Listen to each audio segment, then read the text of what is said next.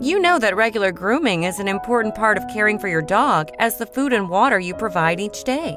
But do you have the time to take good care of your pet's skin and hair routine? We can help you keep your dogs looking and feeling their best. Regular baths with dog specific shampoos will keep your pet's skin clean, nourished, and healthy.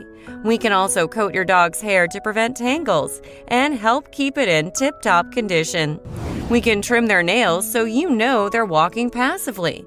We can brush their teeth to help keep their mouth and gums healthy.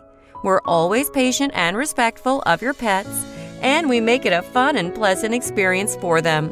Call us today for an appointment. Your dog will love you for it.